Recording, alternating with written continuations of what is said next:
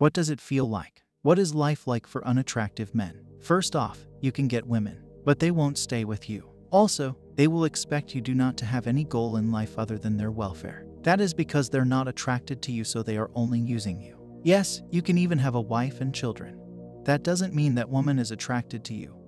She just didn't have a better choice when it came to someone who would stay with her. Not only sleep with her. For starters, one of the most painful things is seeing a woman behave coldly towards you, even if you have never said or done anything wrong, and then seeing them open up easily to an attractive guy, even if he's being a complete douche. Women assume you're trying to pick them up and become standoffish if you start a conversation with them or ask them a question, even if that was not your intention whatsoever and you genuinely needed to talk to them. Other men will keep trying to make fun of you. Good body size and aggressive attitude will stop that, but then they will just avoid you. You will have very few real friends, if any, and everyone who knows you will prefer to spend their time with other people. They will go out with you if they don't have any other choice and they don't want to stay indoors. You will not be invited to parties unless it's to make up for numbers. Female friends will only seek you out if they have some problems. This means for you there is no such thing as a female friend. Also, they don't want to be seen with you. Male fake friends will pretty much act the same way as females who declare they are your friends. But if you're very useful like a rich guy,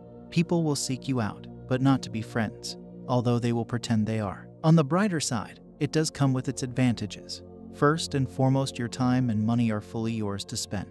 It's easy to slip into the misogyny trap, but you learn, the hard way, that women are as visual as men. You also learn that women can be quite cruel to people they see beneath them and are thus not the benevolent tender hearted creatures that romantically successful guys buy into. Interestingly, women display their true colors towards unattractive men. Equally as bad are the people who are trying to help. These are people who do not know your problems and try to give advice, but it's advice that would only work for people in their situation who look okay or even look good. Totally useless and even infuriatingly condescending to unattractive men. You can see these same people stay in an abusive relationship because their partner is hot, sometimes with worse consequences for them. After you know all this and come to terms with it, you will just get on with your life. You will become a very good judge of character and be able to manipulate people into doing what you want when necessary, based on the deep knowledge you attain about them. However, if you are true to yourself, most of the time you will prefer to spend alone and away from others, playing games, improving your living space, working,